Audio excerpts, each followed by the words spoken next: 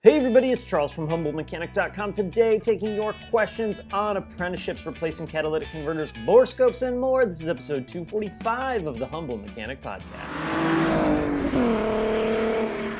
If you want to get a question on a show like this, be sure to email me, charles at humblemechanic.com. Put question for Charles in the subject, ask that question right at the top, then give me the details of the question. Also, be sure to ask a question. I've had to reply to like 40 emails just this morning because they weren't actually asking me any questions. So be sure to ask an actual question. Also, if you don't see your question on a show like this, be sure to check that quick videos playlist on YouTube where I do one question per video. If video is not your thing, the Q&A shows as well as many others are also in audio-only platforms on iTunes, Stitcher, Google, and of course over at humblemechanic.com. All right, let's talk about the sponsor of the day, which is CRP Automotive. They make the factory DSG fluid for Volkswagen and Audi. So check them out at crpautomotive.com. And remember, if you want exclusive content from me as well as discounts to places like Black Forest, Eastwood, MT Knives, Sonic Tools, My mechanic, Petrolbox, Kerma TDI, Adams Polishes, and a whole bunch more, check out that crew membership program. A great way to support the show, as well as score yourself some awesome discounts. All right, with that wrapped up, let's hit these questions. First one up is from Habib. I'm a young guy from Nigeria,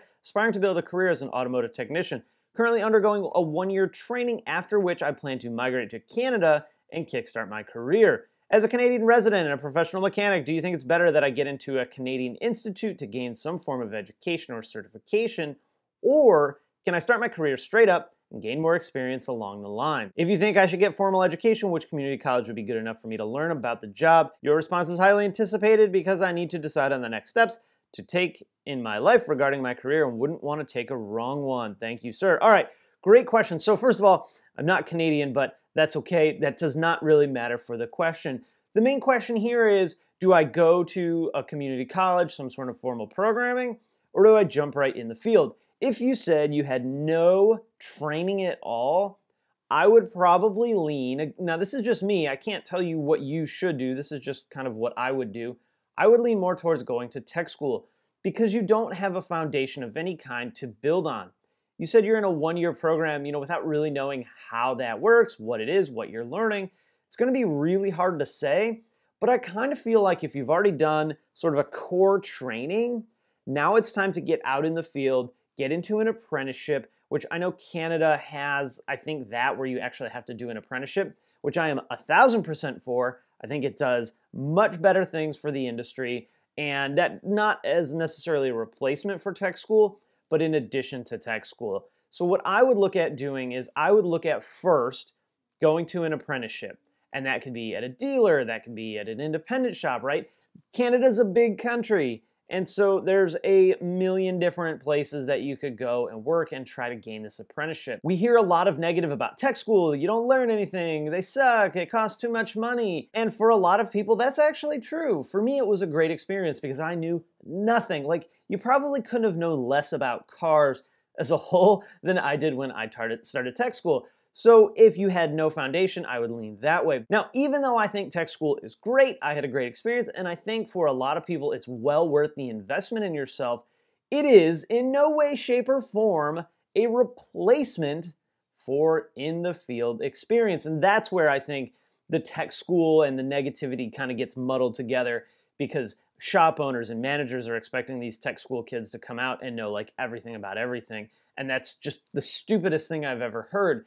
So if it were me, man, I would I would really look first at trying to get into a good apprenticeship program with a brand you like, a car you have an affinity for, whatever, something close to your house, right? Whatever the reason is, and start your career that way since you've already had some training. Had you had no training, we might go the other way, but I would look at the apprenticeship again.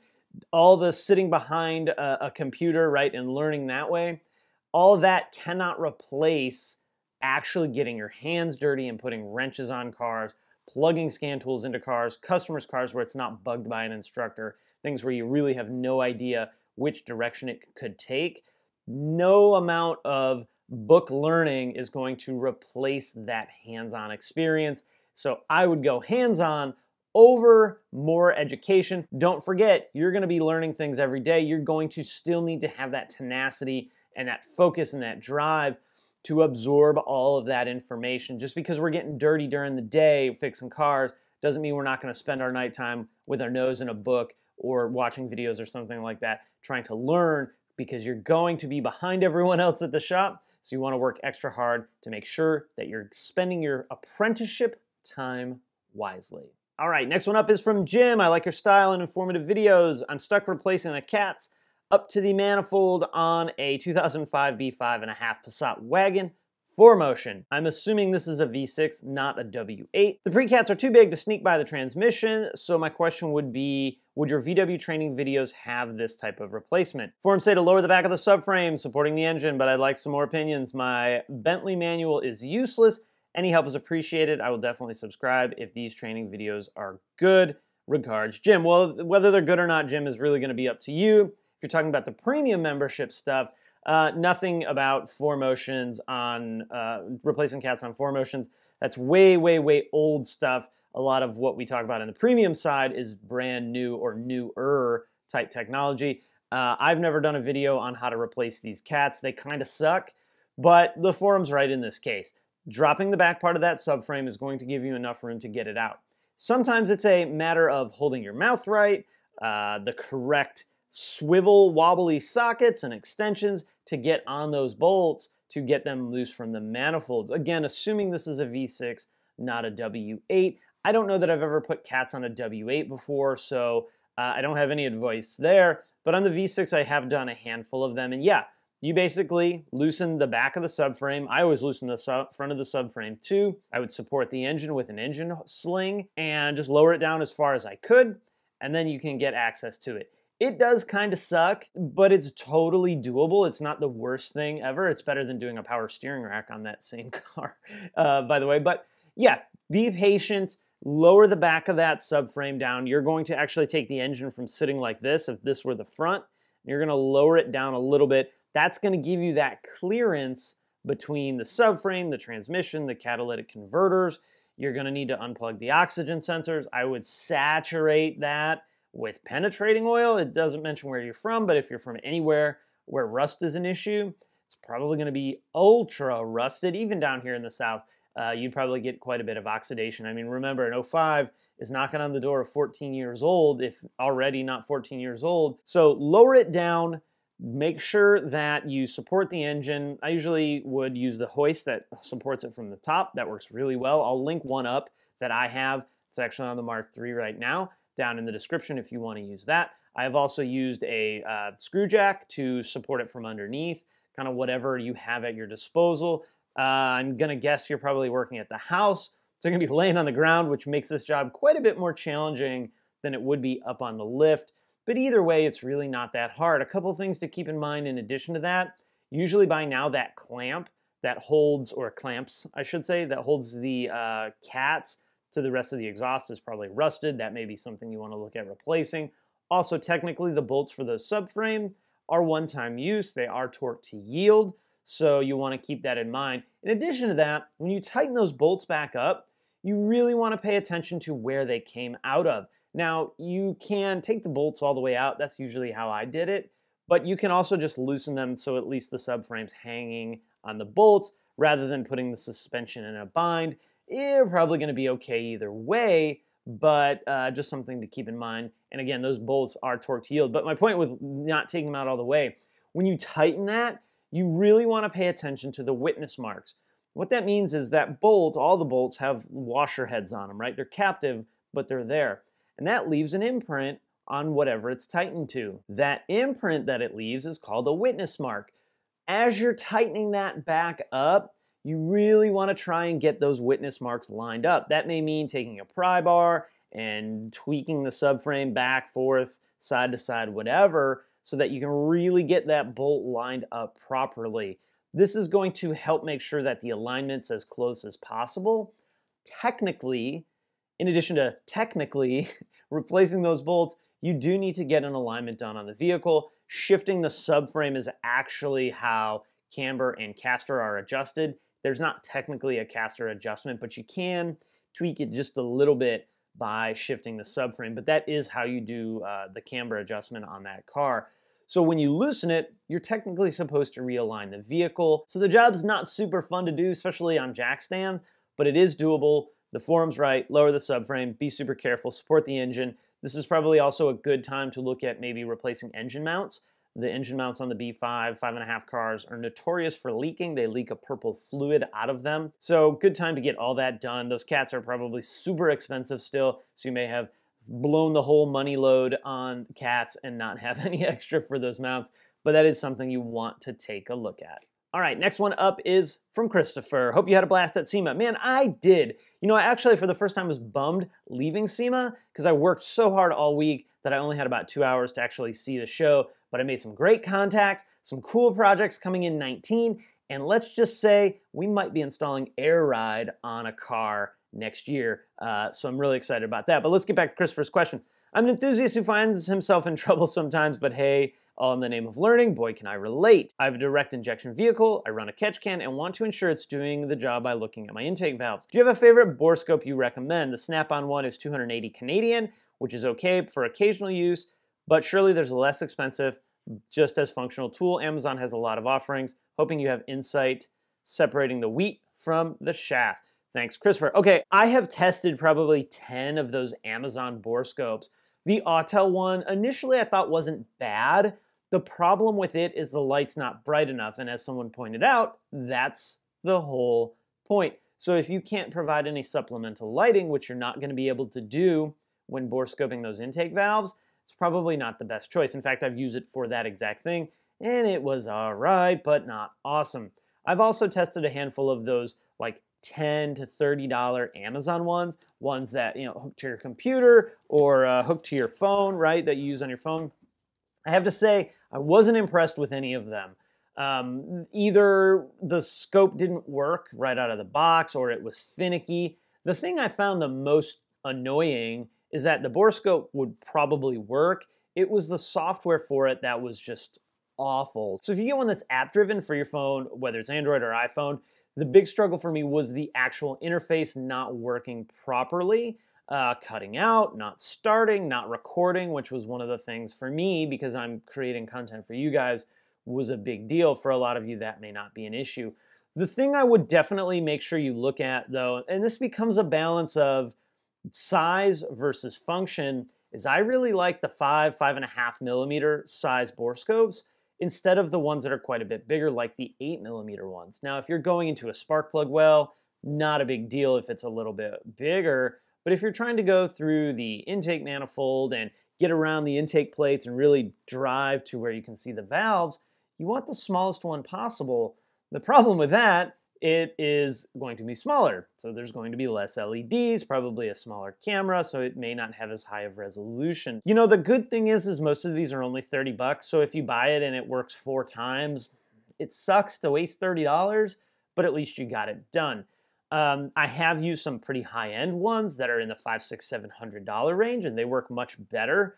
But as an enthusiast, is that something you really want to spend? Let me put it this way: I didn't spend that money as a professional, so I would not really feel good about recommending an enthusiast who's going to use it three times a year at the most spend that kind of money. Now, if that's what you want to do, go on and do it. I think that's just fine. But for most of us, that's not a super good use of, of your money. I also tested one with Eastwood, and it worked okay. It worked a little bit better, but again, my need for it isn't just you know driving the borescope looking at the picture. I need video capture so that I can capture that for you guys. So give one of them a try. If it's $15, $20 and it doesn't work amazing, then cool. Uh, and if it works again for that four, five, six times that you might use it, then I think that's a good use of your money. If any of you guys have any experience with good quality borescopes, not junk, the good stuff, drop a link down in the comments and let's help Christopher out. I can also test out some of these as well. I just overall haven't been super impressed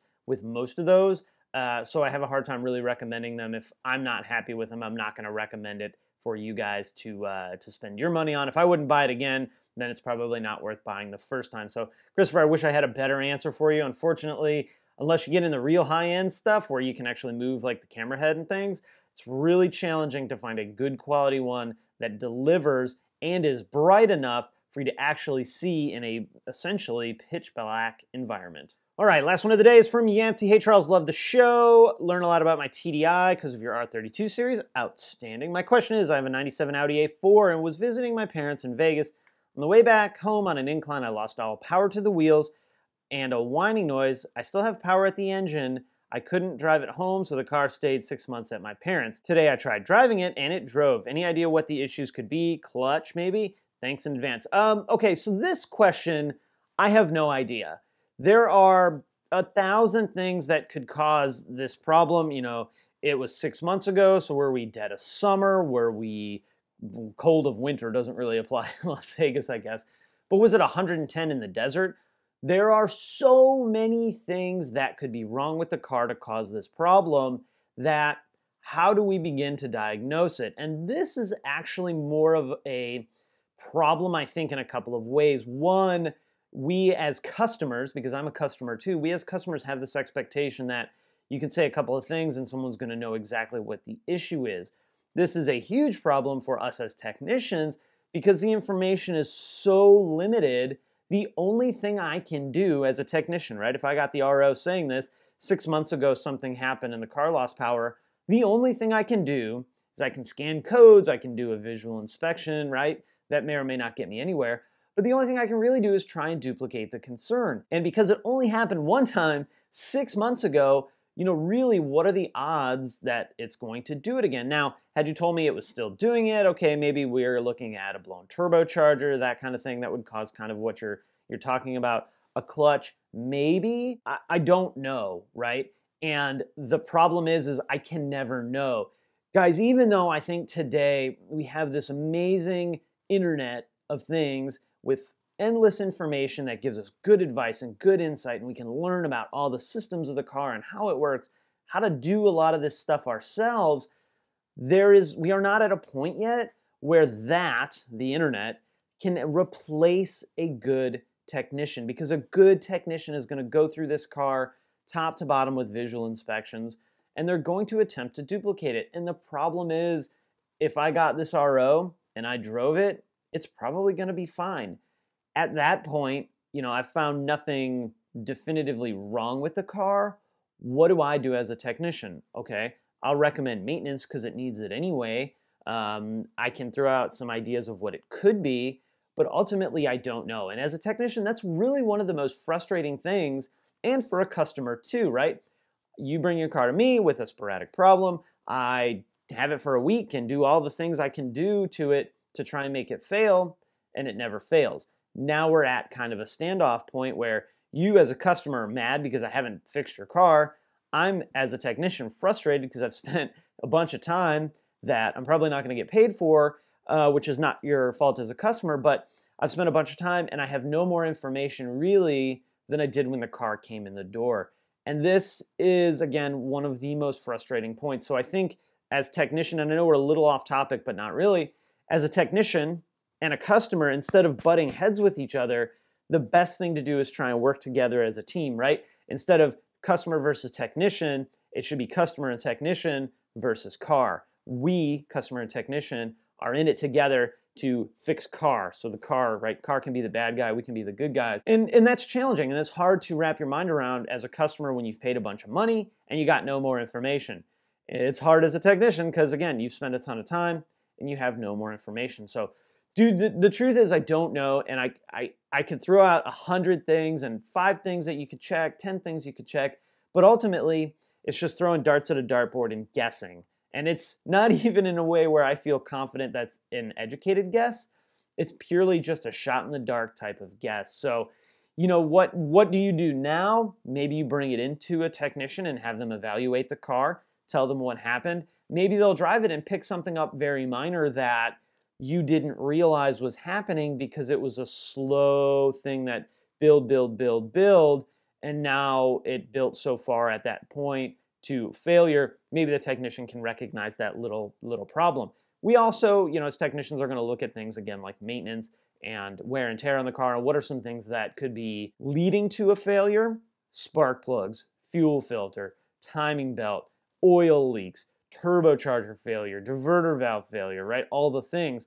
And maybe begin to develop a plan. But the big thing here is that we haven't found a problem. But it may all come down to we haven't found an actual problem with the car. and that's really, really frustrating. So, dude, I wish I could help.